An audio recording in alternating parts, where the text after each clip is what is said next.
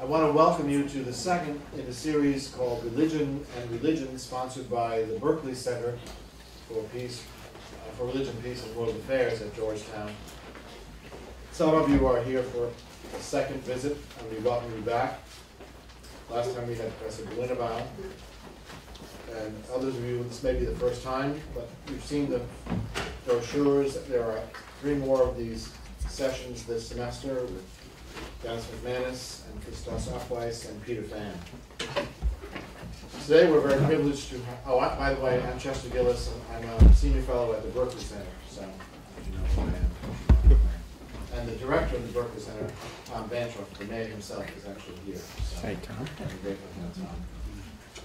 But our guest of honor and our speaker is John Borelli, known to many of us who've been around Georgetown for a while, and known nationally and internationally. Mm-hmm. After teaching history of religions and theology for 12 years at the college and university levels, John Borelli accepted a position in ecumenical and interreligious relations for the U.S. Conference of Catholic Bishops, where he served for more than 16 years.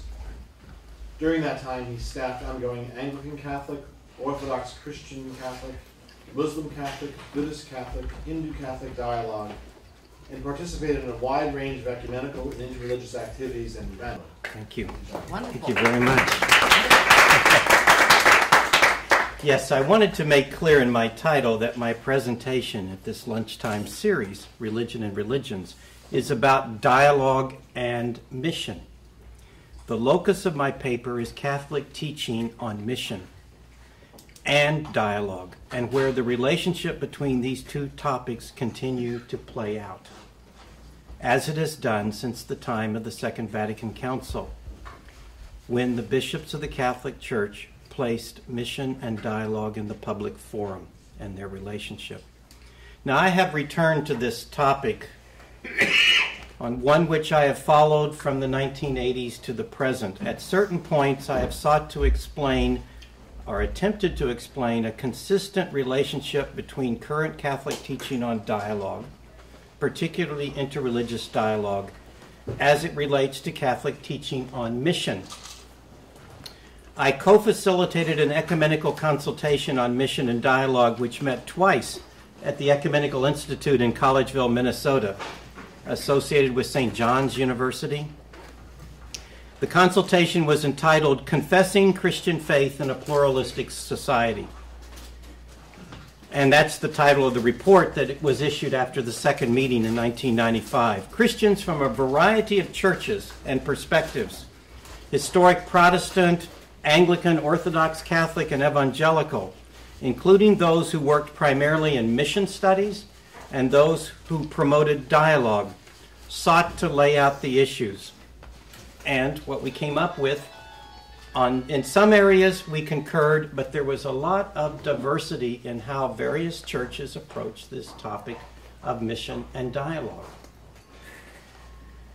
Catholics thought they had reached by then a somewhat um, how do I how do I somewhat less than satisfactory but sufficiently balanced position for interreligious dialogue, which is described as one of among several activities including under, included under the heading of evangelization, somewhat broadly defined to encompass as well traditional missionary activities, such as proclamation of the gospel and establishing missionary structures, establishing churches.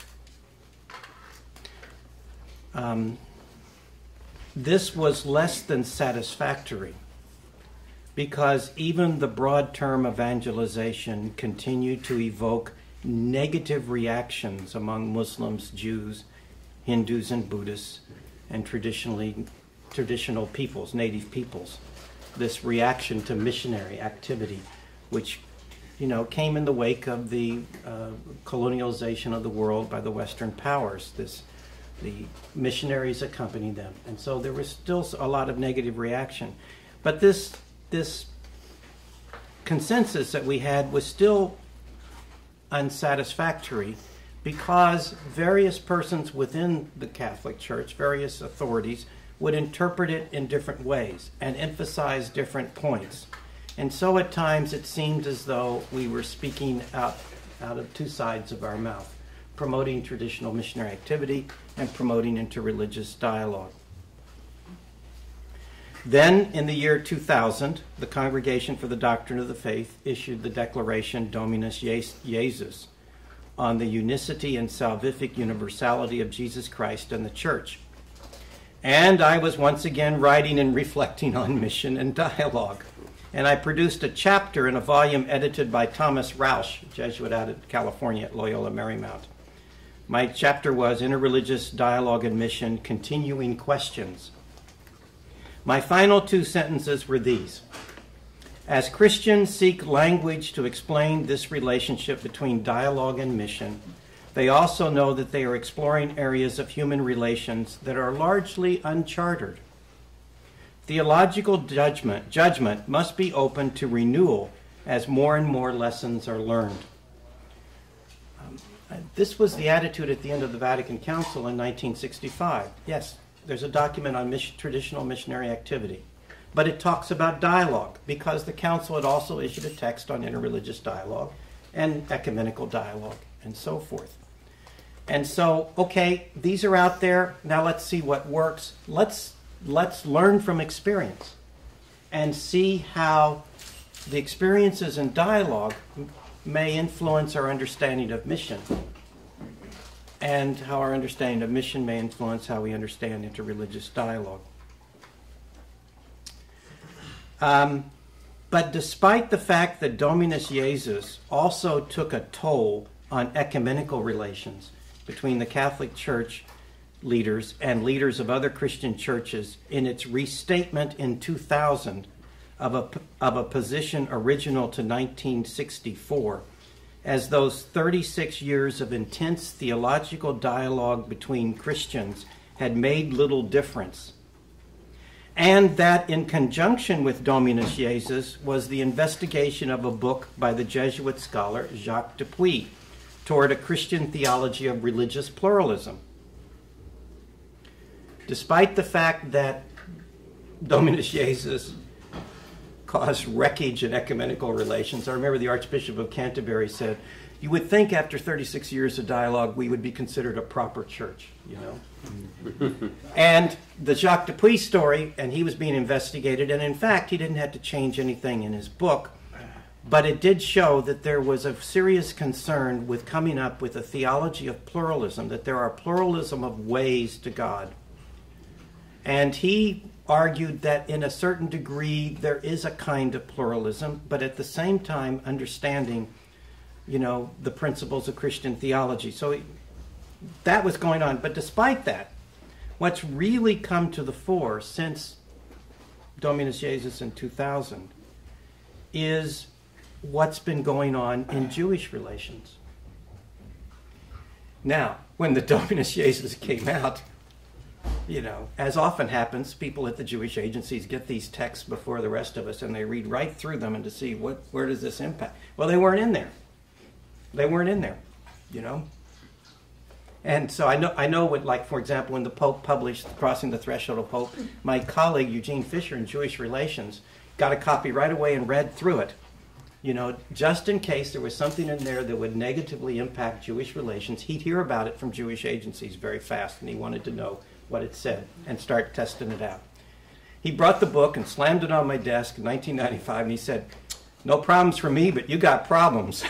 and sure enough, yes, there was the negative soteriology of Buddhism, his comment, and then something about Islam too. And, um, but the Jews were not in Dominus Jesus. And so they asked, Where are we? Why does Dominus Jesus, on the universality of salvation in Jesus Christ, not mention us? Is it because the covenant remains so much intact that we're not part of this discussion? That the fact that we, we do have faith and revelation, we have faith in the one God and revelation that we get by? Why are we not here? And it's in reply to that that we've gone through a series of developments. And I think that's where the discussion is really focused now, because if in fact if in fact the position can be argued that the covenant with the Jews remains intact and is salvific as is, then it opens the door to the questions of religious pluralism. I think it really is the linchpin. Now, if you read the Metro section last Sunday, Saturday, and checked the religion page, you will note how truly current this topic is. Because there was an article there, Catechism Edit, troubling Jewish leaders say. And this was a religion news service story by Daniel Burke. The article reports that that how reports how U.S. bishops at their June meeting this year had changed a, had discussed a change in the 2006 U.S. Catholic Catechism for adults. The matter was discussed in executive session. I can't recall in my 16 years where something up for a vote like this that had public impact was discussed in executive session. So that in itself raises suspicions. What's being talked about with the press and observers not there behind the closed doors with the bishops? Because most of their sessions are public sessions. Such, uh, the, the action involved three committees of the bishops the Education Committee, the Doctrine Committee, and the Ecumenical and Interreligious Affairs Committee that I used to work for. Archbishop Donald Wuerl, who chairs the board that oversaw the new catechism that was voted on and approved in 2006, is quoted in the article as saying, There was a concern that we were trying to say too much in a few words. And when you get into an area of theological complexity, brevity doesn't always serve you well. Well, is the catechism a place to iron out a theological complex question? Because the catechism is to be brief and to the point. The original sentence in the U.S. Catechism was Thus, the covenant that God made with the Jewish people through Moses remains eternally valid for them.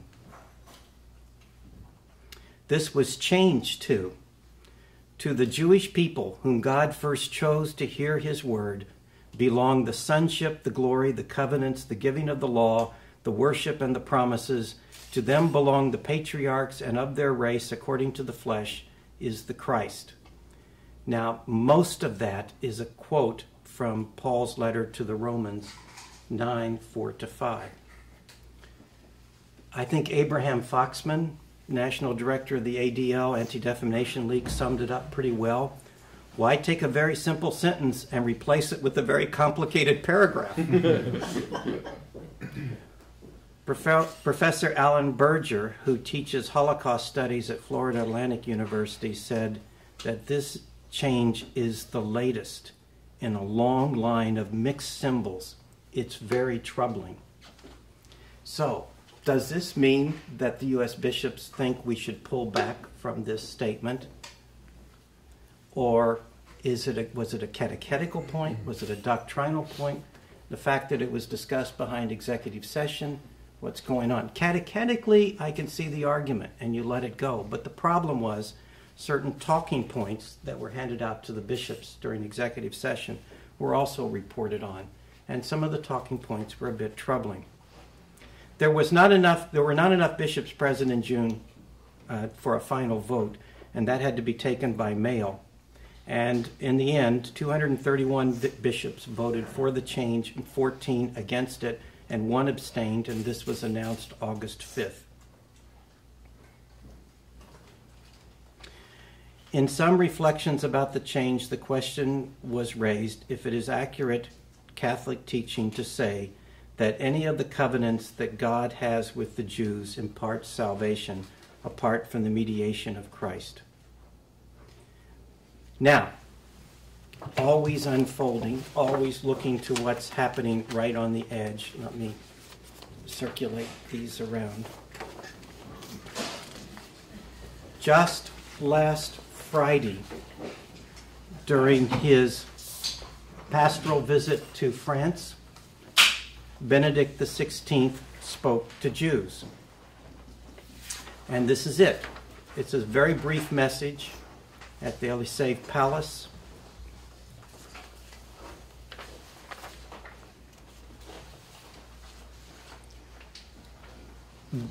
so three paragraphs.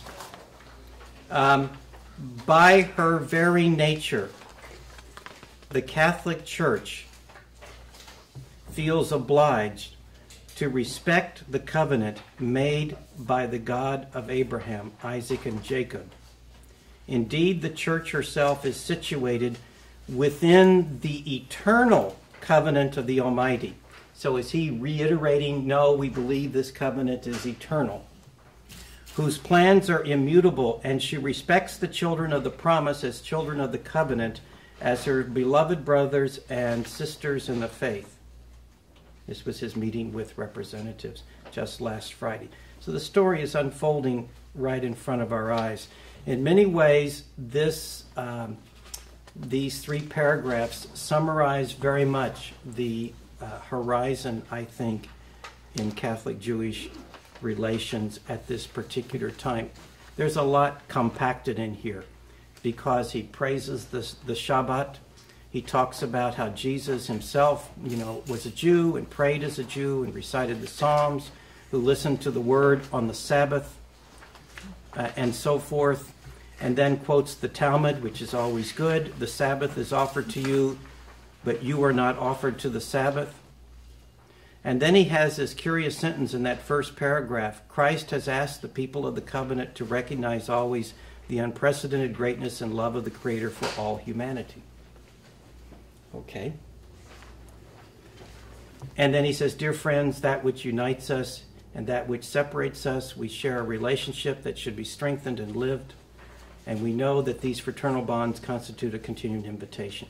Then the, the, the position that I read, um, and uh, he talks about we are all spiritual Semites. This was a quote from Pius XI. Pius XI, who was preparing to write an encyclical on the relation with the Jews, but never got around to it, with developments taking place in Europe. Uh, then quoting uh, Henri de Lubac and able to mention Pius XII in all of this and talks about, you know, to be anti Semitic also signifies being anti Christian and so forth. And so being able to talk about that, and then, uh, then he says, I cannot neglect on this occasion to recall the eminent role played by the Jews of France in the building up of the whole nation of their prestigious contribution to her spiritual patrimony. So the contribution of Jews to the state, to, the, to France. They continue to give great figures to the spheres of politics, cultures, and arts, and so forth. So it's it sort of shows you, you know, in a in a nutshell, where we are in terms, I think, um, in Christian, Jewish, uh, Catholic Jewish relations. We're at a point, I think, of combing through the addresses of Benedict XVI to Muslims, to Jews, to other Christians, and to many others to measure what he may be attempting to correct from the time of Vatican II. Um, and um, on his same visit to France, he also visited, uh, he also spoke to the Catholic bishops of France. Now, that text exists in um, Spanish, Italian, and French on the website, but the English is not. I've got a kind of first run, so they, they may not be pleased with the way the English translation reads. But it's curious. Um, this was report. It's how it's reported too. This was reported by Catholic News Service that oh, and towards the end of his talk regarding the dialogue with Muslims, he said this dialogue should always be. It's important that this dialogue should focus on the truth. But in fact, he says a lot more than that. He talks about John the 23rd, who had been nuncio to Paris, and of Paul the Sixth, and how they set up secretariats for Christian unity and secretariats for interreligious relations. And these, these structures in 1988 were, were made pontifical councils. But soon after they were formed in, in the 60s, 10 years to be exact, there were commissions for religious relations with Jews and religious relations with Muslims. So he's talking about all sets of relations here ecumenical, Jewish, and Muslims. And then he says, these structures, in some sense, constitute the institutional and conciliar recognition of countless earlier initi- initiatives and accomplishments. It's this word countless.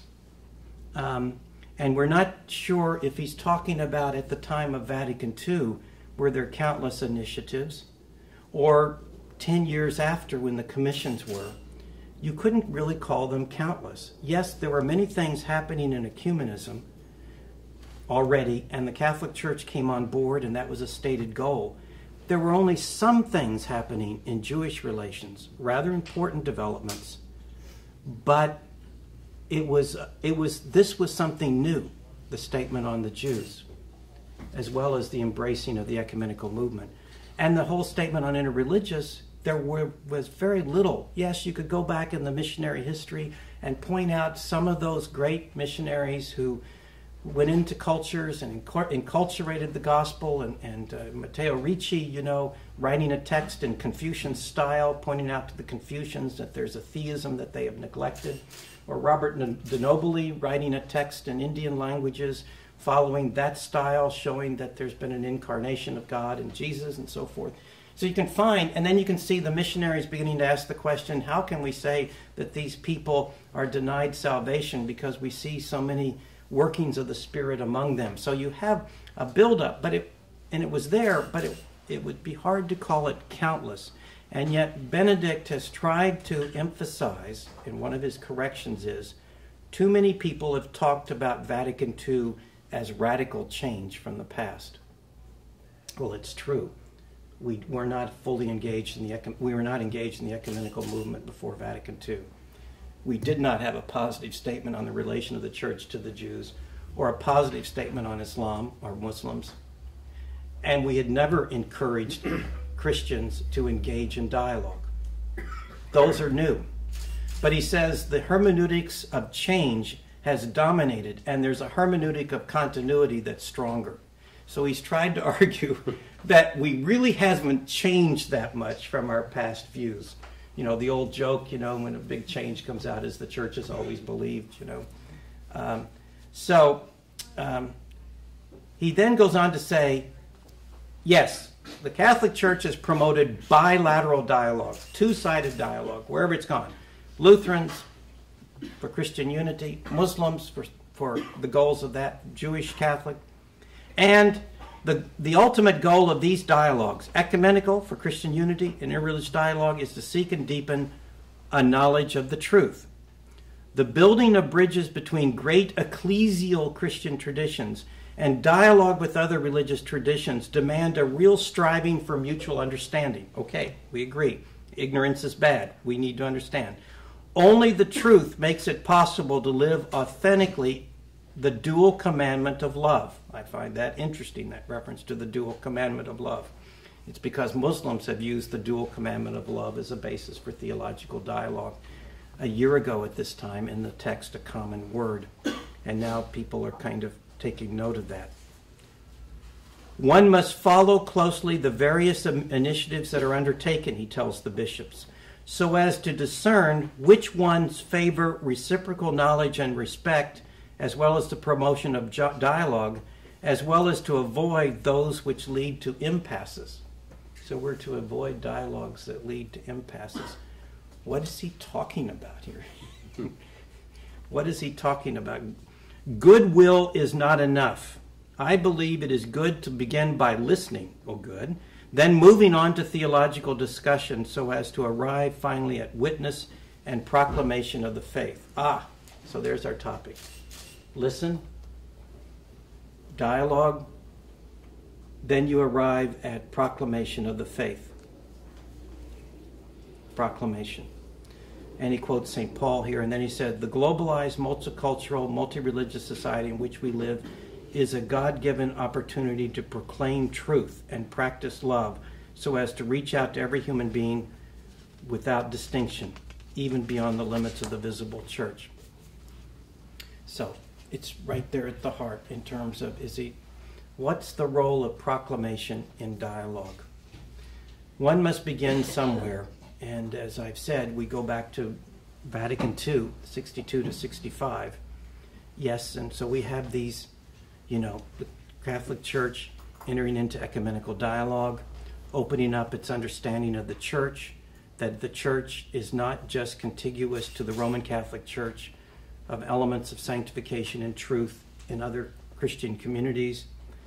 Um, and then the, the opening up of relations with the Jews and opening up of interreligious dialogue. Dialogue was a major term. You don't find it. You, you, you search the indices of all the previous general councils of the Western Church, and dialogue was not used. Um, Paul VI brought the term in in a large way halfway through the council with his encyclical on the church. He uses the word dialogue 71 times. The Latinists were very upset because it was a neologism, dialogos, you know, so they didn't like it. But he used it. And he talked about God has engaged all of humanity in the dialogue of salvation. So that was the context for talking about what the church is, and that we ourselves are in dialogue with God and ourselves in this dialogue of salvation. But then he talked about the dialogue with other Christians as we expand our understanding of church, the dialogue with the Jews, the dialogue with those who believe in the one God, first among whom were the Muslims, the dialogue with other believers, the dialogue with non believers. That was his blueprint that he gave us, and he, he introduced that word. And so it's all through the decree on ecumenism among Christians, you know. And what drives us, of course, in Christian unity is our understanding that it is a scandal to the gospel that we're di- divided. Because Christ prayed on the night before he died, John 17, 21, that we may all be one as you and I are one, Father that they also may be one in us, that the world may believe. Our disunity harms our mission so that the world will believe. And so you understand mission and proclamation, we should be missionizing one another, Christians, with the gospel because we both receive the gospel and we proclaim it to one another.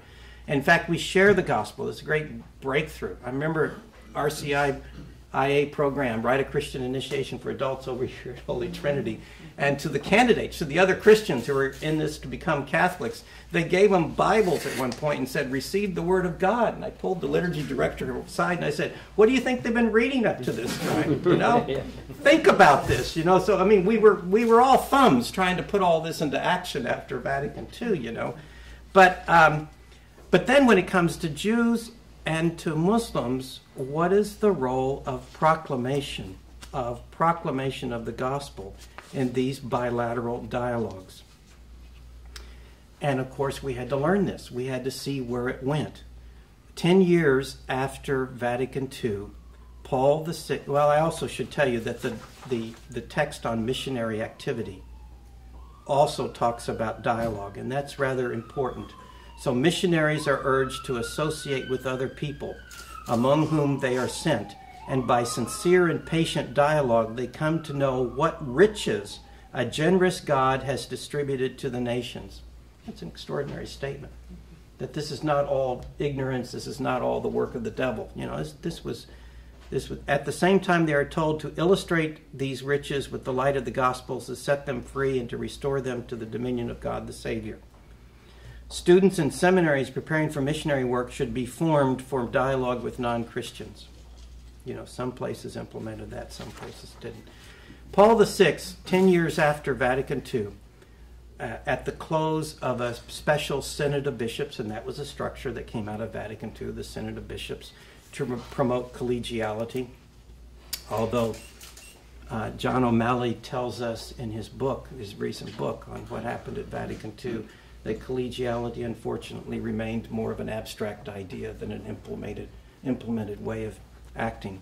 Nevertheless, in the mid 70s, there was a synod of bishops on evangelization. And then, as happens, is after there's a synod, then the Pope issues a text, which is the close of the synod. And he, he issued a, an exhortation uh, announcing the gospel, uh, Evangelii Nuntiandi. And in it, he gives several definitions of evangelization. It's the proclamation of Christ, our Lord, to those who do not know him in preaching and catechesis, baptism, and the administration of other sacraments. So that's one meaning of evangelization. Another meaning, the church appreciates that evangelization means the carrying forth of the good news to every sector of the human race, so that by its strength it may enter into the hearts of men and renew the human race. That it wasn't just a matter of going among peoples to make them Christians, but going with the gospel among people so that societies are renewed. So that through dialogue and through the dialogue plays a, a role in renewal of people. And so suddenly we had many definitions of evangelization floating. We were still back and forth. What are you going to emphasize? And interesting, John Paul II, 1980, went to Africa. I still remember this. And it's announced, I want to go to Africa. It's a big missionary journey he made, 1980, just, you know, second year after he's elected. I'm going for the sake of evangelization, and I want to dialogue with the leaders of other religions. Well, the leaders of other religions sort of wondered, you want to dialogue too? Well, you're coming to evangelize. And so, trying always to balance this. But he had such a positive character to him. He was genuinely interested in people and listened and interacted that he really began to win the hearts of religious leaders. They began to let down their goal, that he was really serious, I guess, about this thing, dialogue. In spite of all this other evangelization stuff, you know, this man was serious about hearing what we had to say. After, you know, now we're talking 14 years experience, the office responsible for interreligious dialogue, in those days it was still called the Secretariat for Non Christians, issued a text, The Attitude of the Church Towards the Followers of Other Religions. Reflections and Orientations on Dialogue and Mission. This was issued in 1984. It was an extraordinary text in that it really talked about how uh, evangelizing mission of the church is not a single but a complex reality. It involves many elements, many elements, the presence and witness, just being present and witnessing among people. Now, we found with Protestants, witness is a lot more active term than it is for Catholics. Witness means you're just there being present. I think of Matteo Ricci witnessing, but no, Isaac Jogues was a witness in the Protestant world. It means going out and standing up and being struck down by a tomahawk. You know, that's the witness. You know, so it was interesting. Even these words that we seek among Christians to try to explain variations of this practice have different different meanings. Um, this was issued in 1984, and it, uh, in many ways, I, I found it uh, um, a very uplifting document. And they handed it in in 1984, having finished it and voted on it. And John Paul II said, "Okay, I like it. Now I want you to do it all again. I want you to rewrite it, but I want you to consult to the, with the other office here, the Congregation for Evangelization of Peoples. And so they sat down with the office, it used to be propaganda of the faith, the faith propagation of the faith, the, the, the office responsible for missionary activity. Because the head of that was constantly saying, all these theologians that are writing about dialogue, they're saying, mission's been replaced by dialogue. That's not true. We still, you know, we don't just dialogue with people. We go out there, you know, and do the traditional thing. So this this struggle back and forth. So from 84 to 91 they worked on a text. It was entitled Dialogue and Proclamation and I asked Michael Fitzgerald who was secretary at the time of the Office for Interreligious Dialogue, "How did you do?" He said he had one consultant, Jacques Dupuis, mm-hmm. and they had two people on the evangelization side, and we hammered out every sentence. We slugged it out because this, you know, back and forth, back and forth. But when they were finished with it, by then, John Paul II had changed the Curia, and he made these secretariats that had sprung up at the time of Vatican II into pontifical councils, and he made them report to congregations. So if a pontifical council wanted to issue a text, it had to report its text to a congregation that would touch upon it, which meant doctrine of the faith, which meant that they were the third Roman office involved in this, and they weighed in on changes too. They were ready to issue it at the end of 1990, and they were told, oh no, you can't issue it because the Pope is about ready to send out an encyclical on mission. So while these people were hammering out a text on dialogue and proclamation, there was a team writing an encyclical on mission in parallel. Same thing going on at the council. Um, John Paul, and, and it was due to come out in December to 1990, and um, that would have been the 25th anniversary of the text of Vatican II on mission, uh, Gentes. But they waited to release it, though it's dated December 1990. They waited to release it in January of 91, and interestingly, it they announced it and made it public the day the Allies began the air war against Iraq and the first Iraq War. So we were meeting with Jews and Muslims in in St. Louis at Washington University, talking about our various doctrines of just war. And the Vatican had issued a text on missionary activity, you know. And of course, just on the news of it, the Muslims are saying, this isn't good. You know, a coalition of nations are attacking a Muslim land, and now you're doing the missionary thing. So, but it came out. What was extraordinary about the Pope's encyclical on mission? It was John Paul II. It was his. Yeah, okay, we never gave up traditional missionary activity, and dialogue doesn't replace it. But let me tell you, religions are very significant because it's the way God has spoken to countless people. So he elevated I think, the teaching on interreligious dialogue. And he talked about the role of the Holy Spirit. It's one of his best sources on the Spirit active among all peoples. And he talked about, you know, I brought everybody together in Assisi in 86 to fast and to walk together and to pray. And there we all were lined up, you know, in the piazza, you know, and I had next to me the representatives of Constantinople and the other Orthodox churches and the Archbishop of Canterbury and all around the various Protestants and the Rabbi of Rome right there at the end. And here were Buddhists and Muslims and Hindus. They didn't put the Muslims next to him, they put the Buddhists because it's the Dalai Lama. And all the way around to two Crow Indians, you know? And and we and, and, and the picture's worth a thousand words, you know. And he said, you know what we learned that day? That every prayer is called forth by the Holy Spirit. You know, we learned that all of us are motivated by God in our religious activities. So, you know, he was giving all of this positive endorsement to dialogue and the value of other religions, at the same time, re endorsing and criticizing various views of missionary activity uh, that talked about, well, we're all building the kingdom of God together, so other religions in their own ways are built. No, no, no, that's not exactly what we mean by this. You cannot reduce this to kingdom theology, that the there's a role for the church and everything. So you had that going on. Then, six months later, Dialogue and Proclamation came out.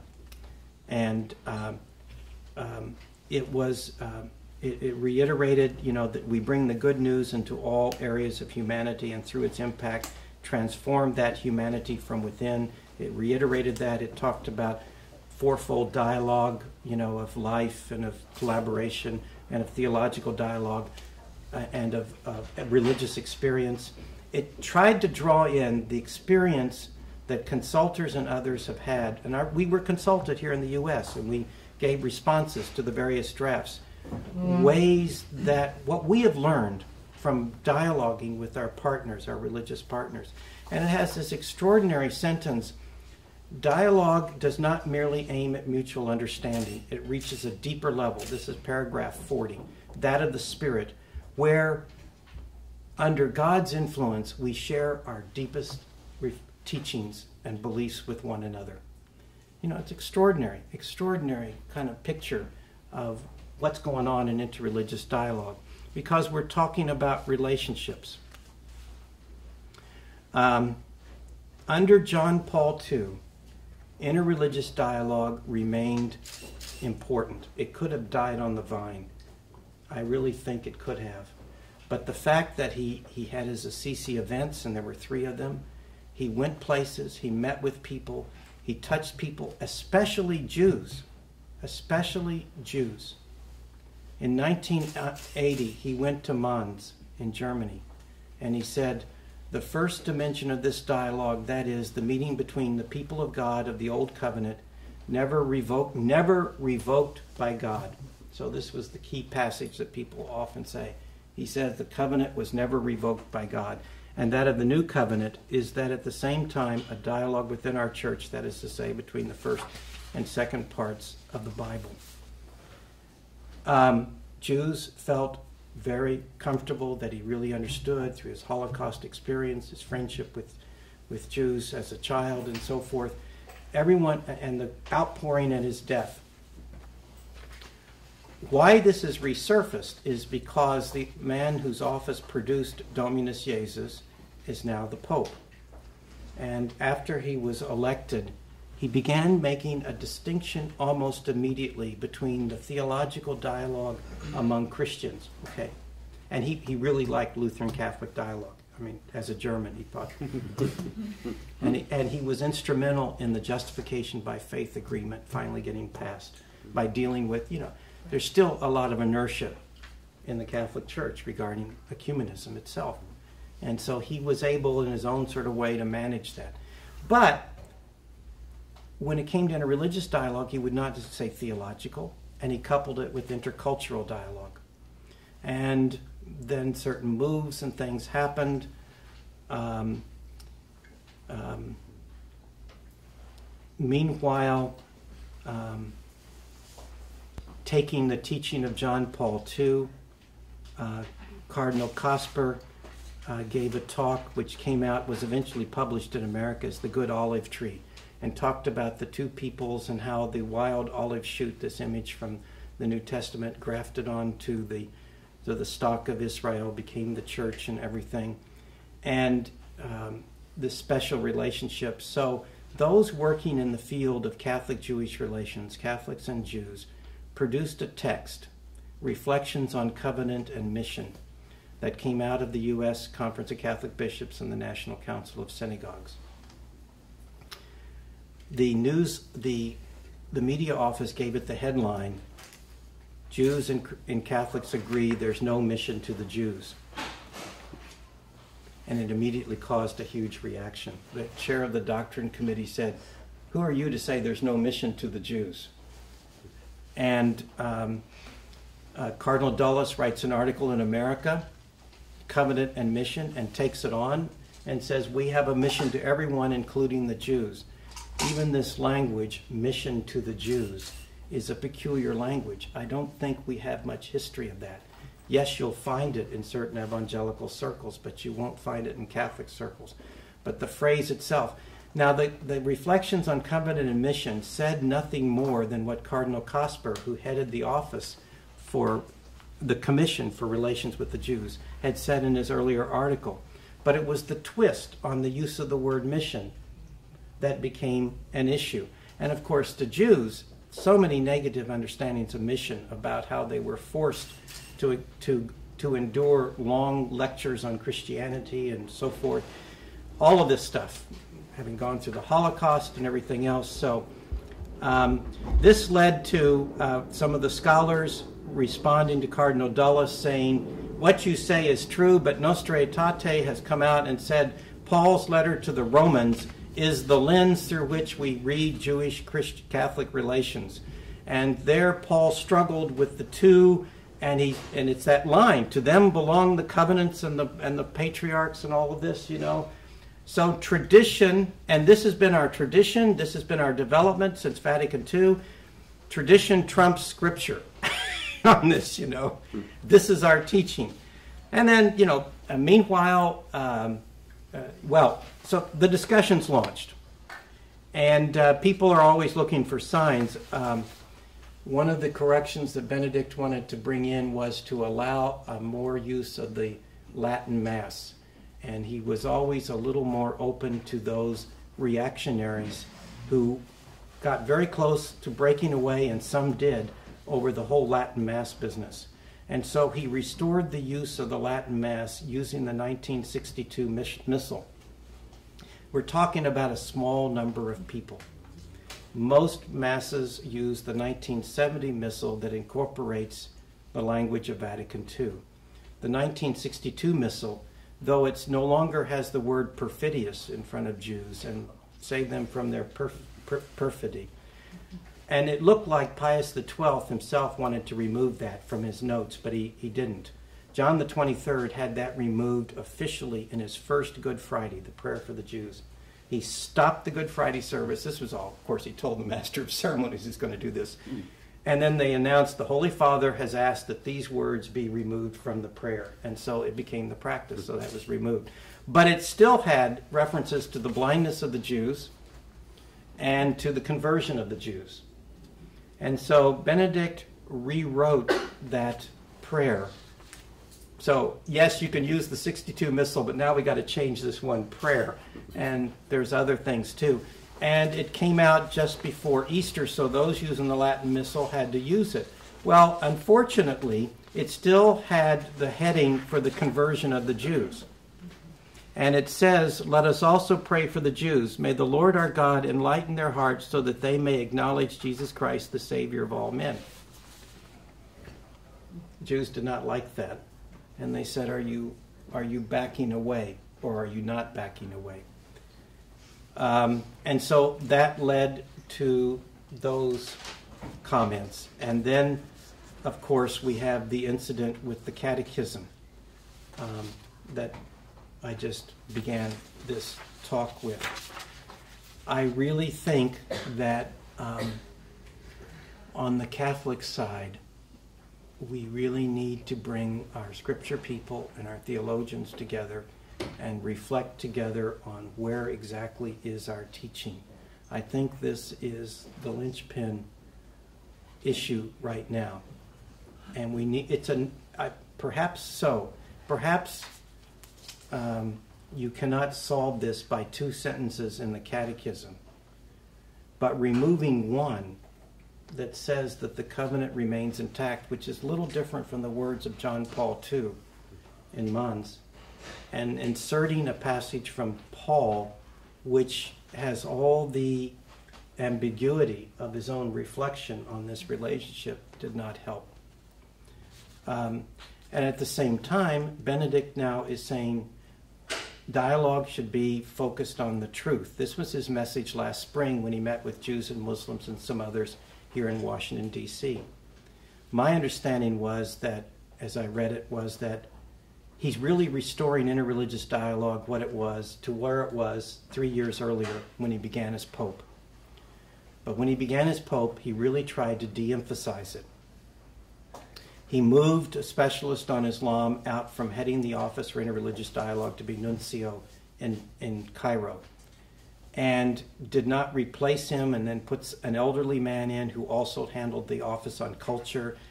And then finally after the Regensburg speech and other incidents, they announced we're going to restore the Office on Interreligious Dialogue. Well, they never officially announced they were going to get rid of it, but they so and they put Cardinal Tauran in, so it's there. And now we're talking about the dialogue of truth. We always talked about that, that we're dialoguing because we're trying to share with one another our understanding of the truths, you know. But I'm afraid that many people have set up a kind of straw man Interreligious dialogue is anything goes, and uh, it's an occasion when you relativize the truth and people lose their faith. Well, my understanding is just the opposite. I've never known anybody to have lost their faith in dialogue. I always see it strengthened. In conversation with others, you grow, you have to articulate your faith in a way that's understandable and that's distinctly Christian in comparison or in contrast to what another is saying. I've seen growth in understanding. Um, it's a long, hard process after all this his- history of missionary uh, missionary activity to get partners who really trust us that dialogue is the way to go. So it's taken 30 years for Muslims and Buddhists and Hindus to say, okay, let's finally do it. And then Muslims say, let's dialogue theologically on, on love of God and love of, of neighbor. And at this point, the Vatican's at a point well, we can't do theological dialogue because you're not flexible in your understanding of Revelation. You know, it's we we've um, we've kind of reversed. Yeah, I got. I'm trying to to bring this to a conclusion. Um, so I, I, I think my conclusion as I'm working through this year, because this is only kind of setting up where I see the issue. The, the conclusion is uh, the Catholic Theological Society of America is meeting in June, and it's theme is impasses and beyond. Well, I think we have an impasse here. So, thank you. Thank you. series of series and John's comments invite dialogue with John. There may be some more dessert out there, I suspect. If there is, please help yourself to it if you wish, or a drink. And before we have a conversation, I want to thank the people from the Berkley Center, particularly Amanda Gann, uh, who's here, who organized you, this, I Amanda. think Melody Fox Hockman too. Thank you. All right, John, now you're on. Good. Starting right here. John, Whereas a lot of this stuff gets in- into, it's, what I see is a tension between understanding dialogue as relationships, or emphasizing that dialogue is, is really relationship, or purity of doctrine, getting the purity of doctrine. I, I see these as competing motives. or a, or a change in self-understanding. Yeah. I mean, Jesus' self-understanding changed because he listened. I don't think there's any point in going into a dialogue unless the, the parties are interested or open to changing in their self-understanding. Mm-hmm. I mean, what does the, what's the point of it otherwise? Mm-hmm. That's right. I, I think you're right. I think part of the problem is that when you try to put this in the area of teaching and you try to talk about the lessons learned from relationships, there are all sorts of people that react to that and are suddenly fearful that this is going to somehow impact the purity of our doctrine. Um, Cardinal Dulles' reaction to reflections on covenant and mission. You know, I think that's what's reflected in there. Although, you know, I don't want to completely dismiss it, he made some very good theological points. And perhaps the people that prepared covenant and mission should have been a little more accurate in some of their reflections. But it seems that what's going on here is dialogue is about relationships, and especially that paragraph 40 in Dialogue and Proclamation, that the, the point is not just mutual understanding. The point is this experience of one another as believers and the sharing of our faith with one another. And it's that level that we really encounter the Spirit working among us. That's what it's about, you know. Um, so, On the other end of the table. So I really appreciated your presentation a great deal. Um, my question is, if, if you're in an interreligious dialogue and with a rabbi and an imam, let's say, and they pose to you, are Jews and Muslims to respond? right, that's an easy one. Excuse me? That's an easy one. Okay. They're not, I mean, and Vatican II was clear on that too. So, I mean, in other words, conversion is not required for salvation. Can you say more? Because I don't, I don't know why it's not. If, if the only way to get to heaven is through accepting Jesus into your life, how can what you just said be? Um, well, the only way to heaven is um, is uh, that's not a teaching if you understand accepting Jesus into your life as actively accepting Jesus into your life. Um, so even I think uh, Gentes makes clear, uh, you know, people are, uh, though many are saved who, in particular ways, uh, do not accept Jesus or not, you know, through no fault of their own. They talk about this. This, in fact, was the uh, one of the things of, before Vatican II with Father Feeney, even regarding you even had to be a Catholic to be saved. So this was applied to other Christians, and he was saying no, that's not the case. That there was there was it was beginning to work its way into Catholic understanding that um, uh, salvation, you know, salvation was available to all. That, and uh, taking the, the line from the, the letter to Timothy, God wills the salvation of all. And for many, that's just not possible by be, becoming Christian. You know, that it's not possible to become Christians. So, Well, forgive me for trying to tease that out a little bit more. If you're, if you're um, a committed Muslim who believes in the revelation of the Prophet Muhammad, um, if you're Jewish and you're still waiting for their Messiah, in, those two cases, can, do those people, do those people of those religions um, can they be saved? Yes, they can. They They- stick with that, with their religions, and they don't, and they don't, uh, relate to Jesus Christ.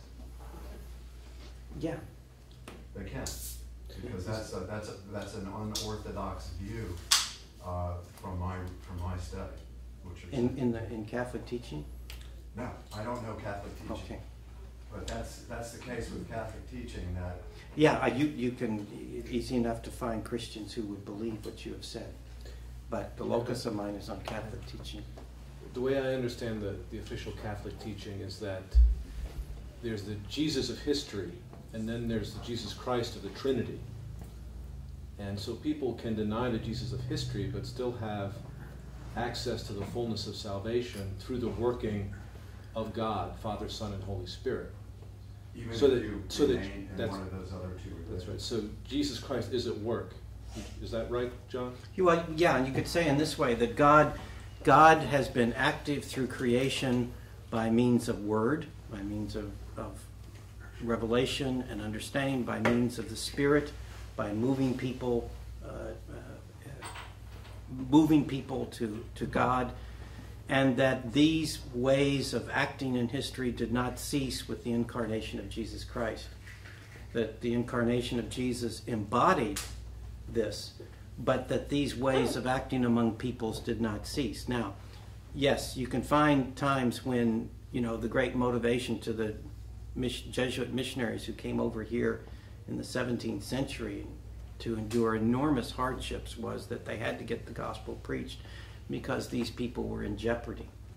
You know, that there was this understanding, but you can see a development in the Catholic reflection on this, in spite of the fact that you can find conciliar teaching that says unless you accept the Pope, you know, as the supreme pontiff on earth, let you, you be anathema, you know, be excommunicated. Yeah, you can see a development in teaching that there's uh, on this in terms of Catholic teaching. Um, an old book by uh, old now, Francis Sullivan, Salvation Outside the Church, where he traces the history of this uh, doctrine. I'll, just say, my, my final comment